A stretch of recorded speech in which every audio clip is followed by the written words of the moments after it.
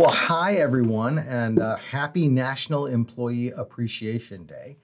Um, if you saw this video last year, you might remember what I said about this day, and that's that I, I, I hate National Employee Appreciation Day.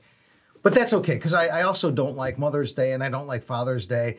And before you think I'm a big Scrooge, let me explain why. Because I think that, um, gosh, if I need a day on the calendar to show my love or appreciation for somebody, then I'm probably doing something wrong. You know, my mom has passed away many years ago, but gosh, I sure hope that you know she she got to hear from me how much I love and appreciate her more than once a year on Mother's Day.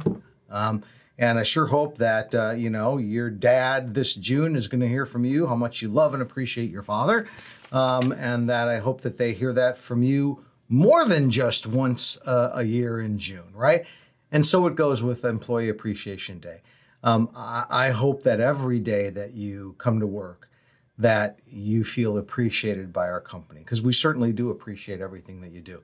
When you work for a broadcast company, you know we have a lot of ass- assets that are open 24 hours a day, seven days a week, and uh, you know there are times when you're called back into the office on a Saturday or late in the evening or things like that. And I recognize that just working for Salem requires a sacrifice, and so I hope that you feel appreciated by us every day, not just on National Employee Appreciation Day.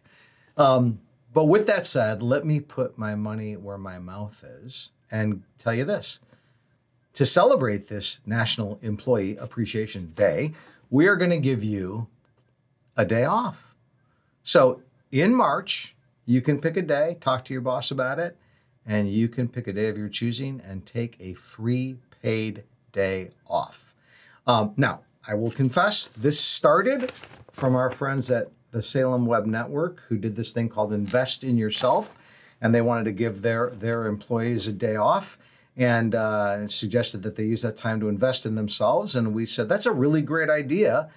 Why don't we do that company wide? And so we're doing it.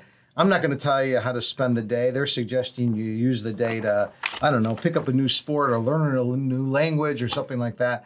Maybe you just want to spend the day watching a Hallmark movie. Up to you. Regardless, enjoy the day.